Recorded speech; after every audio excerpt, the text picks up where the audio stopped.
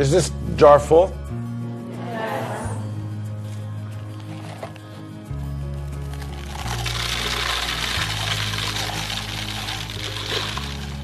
And is it full now?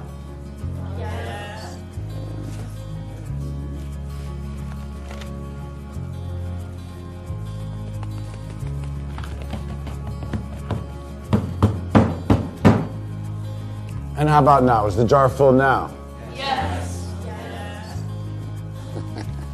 Yeah, it is.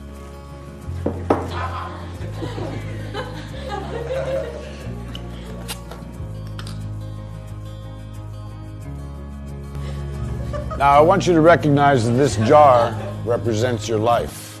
Golf balls are the important things your family, your friends, your health, and your passions. The pebbles are the other important things your car, your, your job, your home. The sand is everything else, it's just the small stuff. Now, if you put the sand in the jar first, you won't have room for the pebbles or the golf balls. The same is true in life. If you spend all your energy and your time on the small stuff, you won't have time for all the really important things that matter to you.